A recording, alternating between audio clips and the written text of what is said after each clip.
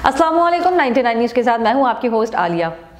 साल 2021 की शुरुआत हो चुकी है 2020 गुजर चुका है। 2020 पूरी दुनिया के लिए एक बहुत ही मुश्किल तरीन साल था, जिसमें पूरी दुनिया कोरोना की वजह से सिमट कर रह गई। दुनिया की आवाम में इतनी हलचल और इतनी प्रॉब्लम इतनी मुसीबत शायद पिछली कई सदियों में देखने में नहीं आई कि आवाम को इतने मुश्किल हालात और इतने मुश्किल वक्त से गुजरना पड़ा। 2021 की शुरुआत आवाम ने पूरी दुनिया में जोश व खरोश के साथ मनाया और उसी तरह शुरू किया, जिस तरह हर साल शुरू किया जाता है। साल के शुरुआत में किसी को भी ये आइडिया नहीं होता कि आने वाला वक्त उनके लिए किस तरह गुजरेगा और किस तरह की खुशियाँ लाएगा और किस तरह की मुश्किल का सामना उन्हें करना पड़ेगा।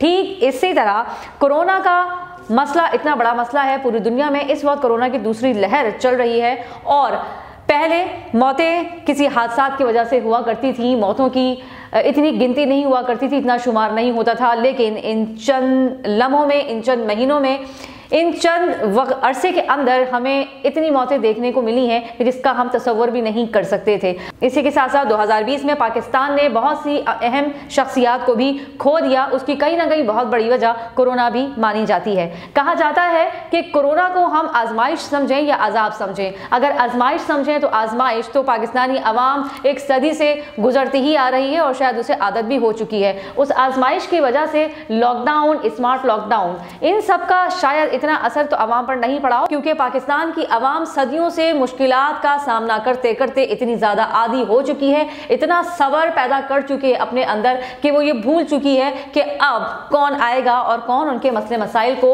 हल करेगा। कोरोना जैसी वबा से निपटने के लिए पाकिस्तान ने एक बहुत बेहतर हमत अमली इख्तियार की कि जिसकी वजह से स्मार्ट लॉकडाउन किया गया, और जहाँ बात की जाए पाकिस्तान की दूसरे ममालिक के मुकाबले में तो पाकिस्तान बहुत बखूबी और बड़े ऐसा तरीके से इस कोरोना से निपटने में काफ़ी हद तक कामयाब होता हुआ नज़र आया और यही उम्मीद की जाती है कि 2021 में भी इन अज़ीज़ पाकिस्तान हर उस चैलेंजेस का इसी तरीके से मुकाबला करेगा। लेकिन करोना एक ऐसी चीज़ है, एक ऐसी वबा है जो एक दूसरे में मुंतकिल होती है। इसमें सिर्फ़ हुकूमत को अपनी हमत अमली इख्तियार करने की कोशिश नहीं करनी, हमें भी अपने तौर पर इस कोशिश में अपना भरपूर तरीन हिस्सा डालना है। एस क्या है, ये आप सब जानते हैं, मैं भी जानती हूँ, आपको मास्क इस्तेमाल करना है, ग्लव्स का इस्तेमाल करना है हैंड सैनिटाइजर का इस्तेमाल करना है।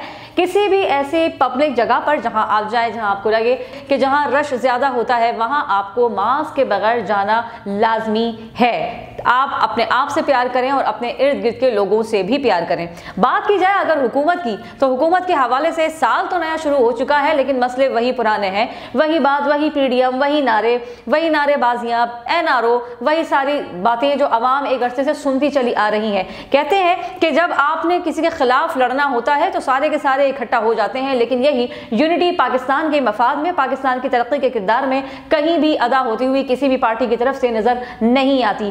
पाकिस्तान में बहुत सी डिफरेंट जमातें हुकूमत करती हुई नज़र आती हैं इतने सालों से, लेकिन इस बार मौका दिया गया पीएम इमरान खान साहब को कि हो सकता है कि वो आवाम के लिए कुछ मुश्किल कम कर सकें, लेकिन सूरत हाल कुछ इस तरह से सामने आ रही है। उनके बहुत सारे इंटरव्यूज़ हैं, जिनमें उनको बखूबी देखा जा सकता है कि वो जो कहते हैं कि मेरे पास कोई बटन नहीं कि मैं फ़ौरन से दबा दूँ और मसले मसाइल हल हो जाए। पाकिस्तान के अलावा अगर दूसरे ममालिक में या किसी तरक्की याफ्ता ममालिक की बात की जाए तो वहाँ नए, नई टीम नए इकतदार में आने वाले लोगों को एक दो महीने पहले पूरी डिटेल दी जाती है, पूरी इंफॉर्मेशन दी जाती है।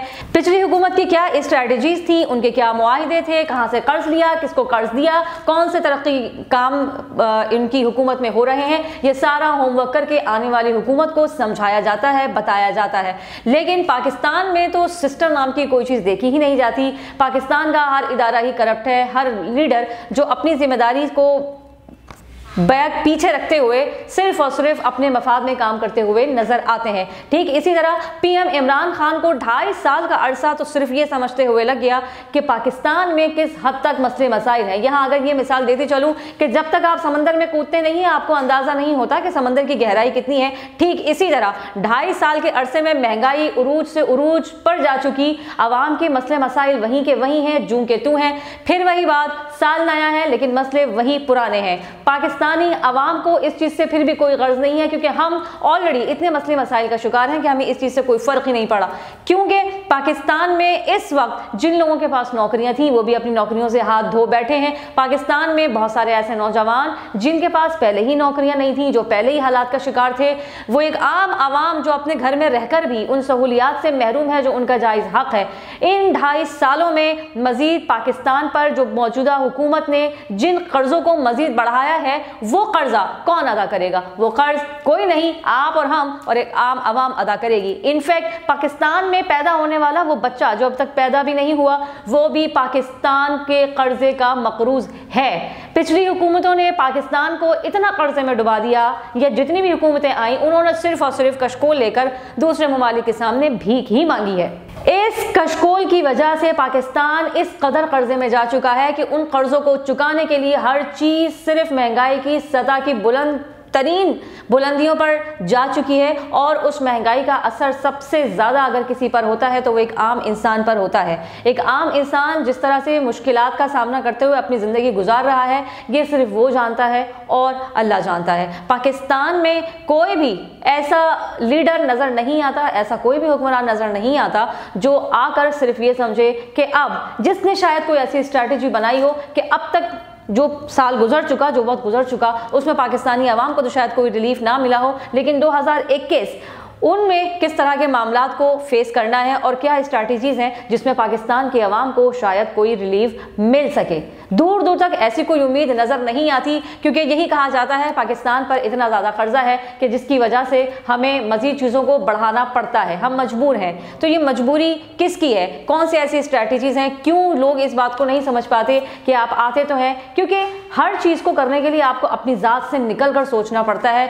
या तो आपकी कोई छोटी लीडरशिप हो या फिर कोई बड़ी लीडरशिप हो, काम आपने आवाम के लिए करना होता है, क्योंकि आवाम बड़ी उम्मीदों से आपको मुंतखब कर कर उस जगह पर बिठाती है कि ताकि आप उनके हक में फैसला कर सकें। लेकिन बजाय इसके कि आवाम का कोई रिलीफ दिया जाए, आवाम का ही हक मारकर बैठ जाते हैं और अपनी तिजोरियों को भरते हैं। अपनी तिजोरियों का खजाना इतना ज़्यादा भर लेते हैं कि मुल्क का खजाना खाली हो जाता है। जब दूसरी हुकूमतें आती हैं तो सिवाय एक दूसरे पर इल्ज़ाम के और कोई काम नहीं नज़र आता। बात की जाए मनी लॉन्ड्रिंग की तो मनी लॉन्ड्रिंग का खेल तो बड़ा पुराना है। कभी किसी की बारी, फिर उसकी बारी आज मेरे हाथ में इकतदार है। तो मैं मनी लॉन्ड्रिंग करूँ, फिर उसके बाद दूसरे की बारी, फिर वो छोड़ता है तो फिर तीसरे की बारी। यही तीन चार लोग हैं जो पाकिस्तान पर हुकूमत करते आ रहे हैं। सिर्फ़ और सिर्फ़ हुकूमतें ही करते हैं, लेकिन आवाम के हक में कोई भी फैसला करते हुए नज़र नहीं आता। कराची का इस वक्त बुरा हाल इसलिए है क्योंकि पाकिस्तान में अब तक बल्दियाती इलेक्शन हो ही नहीं सके। पाकिस्तान में का जो सिस्टम है, वो इस कदर नाकस है, कराची का सिस्टम इस कदर नाकस है कि कराची इतना बड़ा शहर, इतनी बड़ी मेट्रोपॉलिटन सिटी कि उसको पूछने वाला कोई नहीं है। इतने बड़े शहर को चलाने का ख्वाब हर कोई देखता है। इतने बड़े शहर को, शहर का इकदार लेने का ख्वाब तो हर कोई देखता है।